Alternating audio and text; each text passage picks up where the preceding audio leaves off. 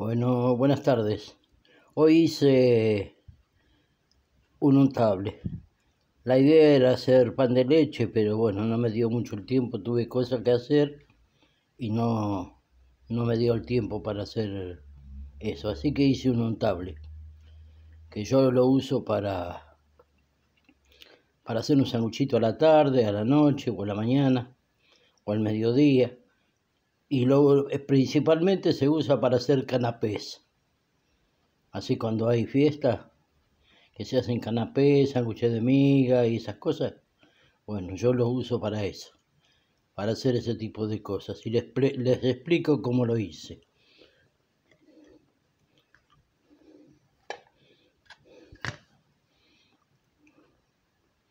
Ahí les muestro cómo está lo que hice. Este, yo lo hice con cebolla de verdeo, picadita, bien chiquita, eh, una cucharadita de postre de pimentón ahumado, una cucharadita al ras de sal de, de, postre y 25 gramos de manteca.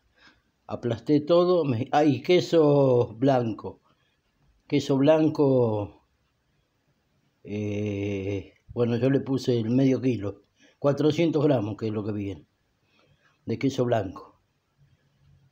Sin saborizar, sin el queso blanco como viene, como sale de la leche, digamos. Este, que no lo, no lo hice, no lo preparé porque tengo que, lo hago, hago también con kefir. Se hace con unos hongos que se ponen en la leche, que se, hace el kefir y se hace el queso crema.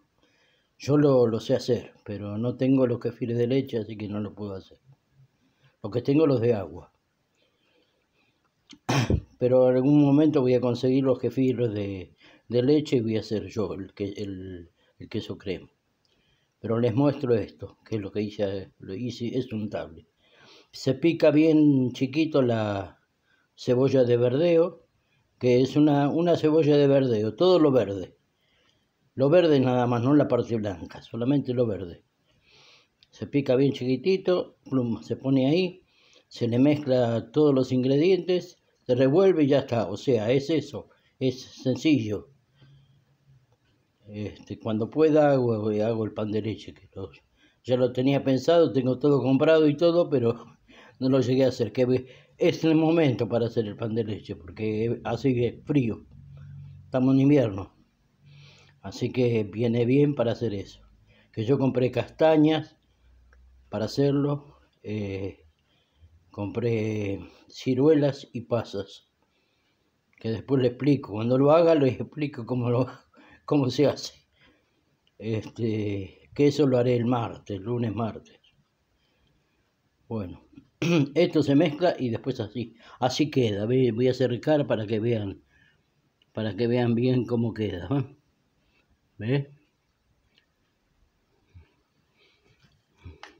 Ahí está todo lo verdecito, eso es el que la cebollita de verdeo, ¿eh? lo verde cortadito. Después tiene el queso blanco, ¿eh? y, y este, la sal, lo que les dije, este, el pimentón, eh, pimentón ahumado, y bueno, nada más, es todo. Y, y el, el, queso crema. Los 400 gramos de queso crema se mezcla y después se usa para hacer canapé.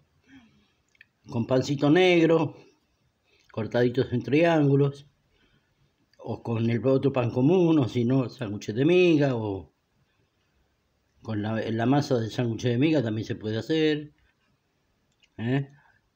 O también se puede hacer, yo también lo suelo usar para saborizar pollo. Por ejemplo, cuando, cuando hago pollo al horno, saborizo con eso.